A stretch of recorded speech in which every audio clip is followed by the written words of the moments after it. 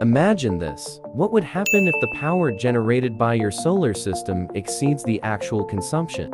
Well, the answer is obvious.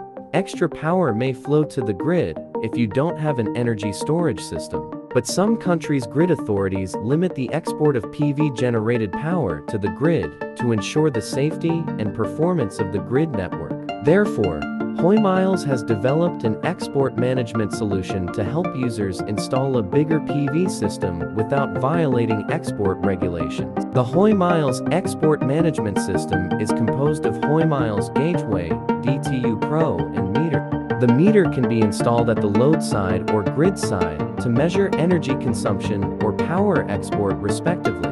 If the export control is enabled, DTU Pro will adjust the PV power generation to ensure that the export power will not exceed the preset limit. This video will guide you through the installation of meter in the distribution box and DTU Pro from scratch, so that you will get an export management system.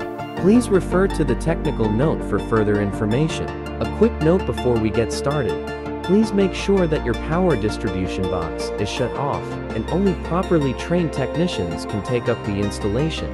To complete the installation, we will be using the Hoymiles DTU Pro, connecting terminal, the Chint DTS U6663 3-phase meter, wire stripper, diagonal pliers, Phillips screwdriver, slotted screwdriver, steel tape, cables, and technical note of export management of Hoymiles microinverter system. Now, we are ready to go. First, install the meter on the rail. To do this, you should loosen the clamp with the screwdriver and move it to the far left side to make room for the meter. To simplify installation and access comprehensive data monitoring, this video only shows the meter installation on the grid side. For other settings, you can refer to our technical note. After we install the meter, cut off the connection between the main AC breaker and the loads, that is, remove these four wires. In this video, we will use yellow for phase A, green for phase B, red for phase C and blue for the N line despite different wire color standards across the globe. Now, we come to the connection with each input port of the meter. From the picture, we know that port 1, 4, and 7 on the meter are input ports, which are respectively connected with phase A, phase B and phase C. Port 10 connects to the N line. Then measure and cut out the wire according to the wiring route. Please note that the stripping length should be the same as the port depth. Then you can wire these cables into the meter and each load. Please ensure safety throughout the connection. Now, we have finished the connection between meter and the loads. Then it's time to connect the output of meter with the main AC breaker. We can see that port 3, 6 and 9 are outputs which are connected with phase A, B and C respectively. Port 10 connects to the N line. Please do not mix up those wires. Now, the meter and distribution box have been successfully wired. Finally, we need to connect the DTU to the meter. Here, we will use the communication cable. The blue wire is connected to terminal B and port 25, and the red wire is connected to terminal A and port 24. The connection of the cable to the meter can be done directly, while the connection of the cable to the DTU Pro should be done with the connecting terminal. Now, all the installation is completed. Let's set up the DTU Pro. Log into your account on S-Miles Cloud Monitoring Platform.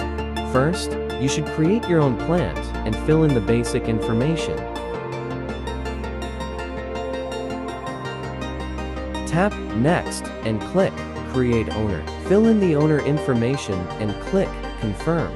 Second, add your device. You should fill in the serial number of DTU Pro and the microinverter which can be found on the enclosure.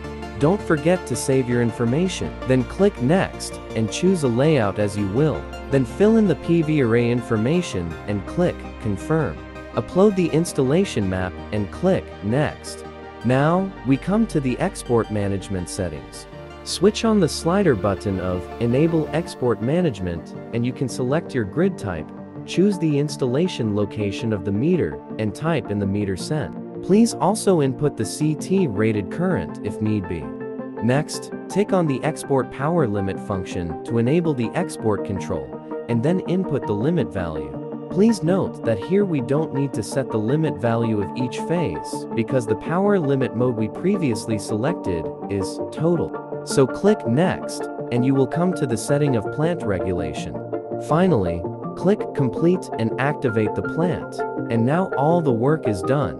When your solar system starts to operate, you can see the overall data from the dashboard of the plant. You can also generate reports to further analyze the data and adjust your settings. That's all for today's program. Thanks for joining us.